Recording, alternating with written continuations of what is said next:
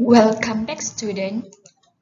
So here, topic 7, trigonometric functions.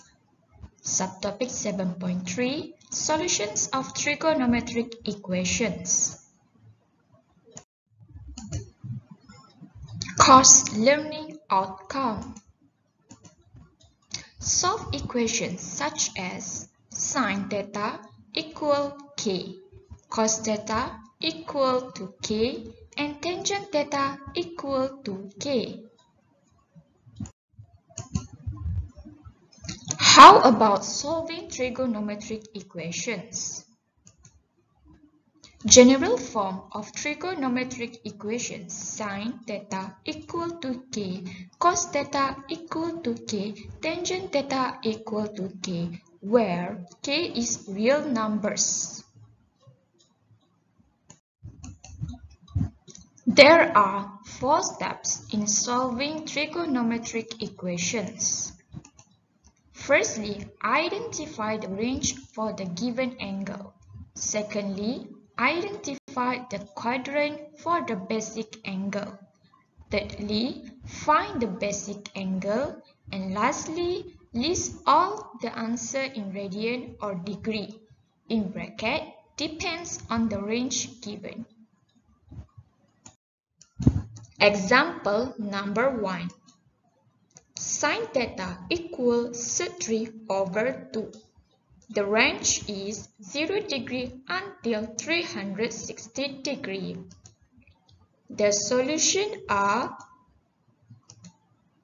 Firstly, we must find a basic angle and we get 60 degree.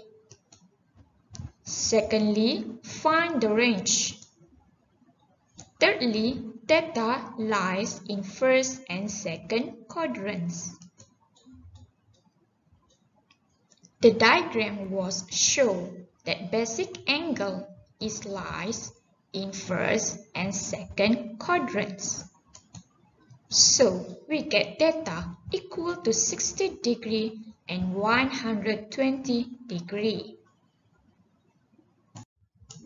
Example number 2. Secant theta equal negative 2. The range is 0 degree until 2 pi. The solution are Actually, secant theta is 1 over cos theta. So, it's become cos theta equal negative 1 over sec 2. Firstly, we must find basic angle and we get pi over 4. Secondly, find the range. Thirdly, theta lies in second and third quadrants.